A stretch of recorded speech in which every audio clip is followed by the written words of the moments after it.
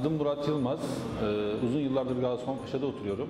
Depreme dayanıksız yapılar İstanbul'da çok vardı. Bizim oturduğumuz semt de buna benzer bir durumdaydı. Etrafımızda eski yapılar, tek katlı yapılar, iki katlı yapılar çok vardı. Bizim oturduğumuz yerde eski bir yapıydı. Gaziosmanpaşa Belediyesi, e, GOPAŞ AŞ ile beraber bize birer tebligat geldi. Ve bu tebligatla gidip ofislerine görüştüğümüzde bize yapılarımızın yıkılacağını, Yıkıldıktan sonra tekrar yeni, yeni yapılar yapılacağını söylediler. Bizim dairemizin metrekaresi neyse aynı metrekarede daire önerdiler. Birer anlaşma yaptık ve taşınma parası, kira yardımı önerdiler.